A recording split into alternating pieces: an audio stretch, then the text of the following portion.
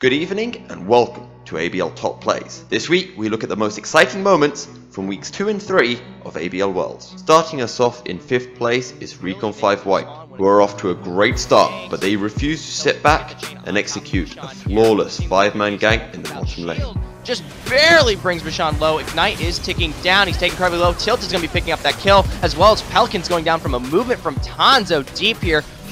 Now they got free reign over the tower. That's all five members of Recon 5 bot. In a tight game, Rise Esports secure Baron. Schism's HTK spots some low enemy health bars and changes the tide of the game. Now getting chased down as Rise Esports turn from the Baron. Aggro though was not reset right. His lights out takes a lot of the damage.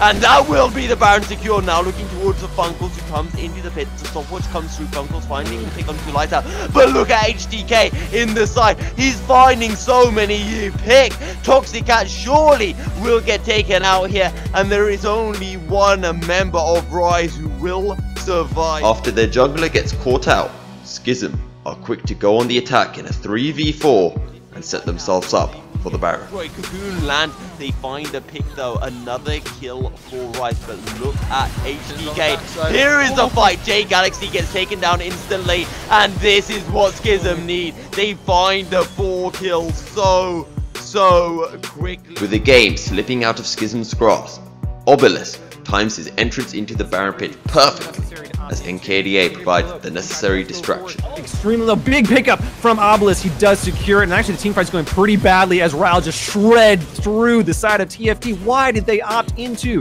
a 50-50? Play of the week goes to Ascentia who punished Crown Esports' early Baron attempt with a juicy wombo combo and then helped themselves to the Purple Worm as well. The flash, they're gonna go in. Quick, this is gonna find onto multiple members. The shockwave! One, four! Can they find anything on the back end of it? The Cataclysm's gonna find two as well. Oh they're gonna be able to God. take down four. The only one that lives is arguments. And now the Baron's gonna go the way of Ascentia Sentinel. Did we miss out any of your favorite plays?